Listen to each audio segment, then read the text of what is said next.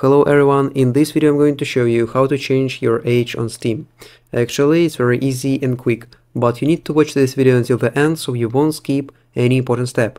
So first of all, you need to open your Steam application uh, and then click on the store uh, option at the top left corner. Uh, here it is, uh, this is store page, you can see a lot of uh, games, but you need to click on this search bar uh, and then type, for example, uh, GTA 5.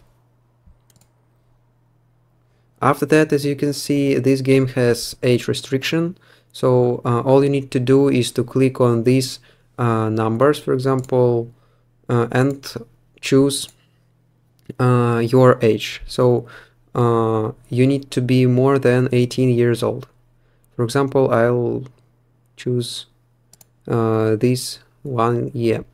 Uh, so nobody will check this and then you need to click on the view page.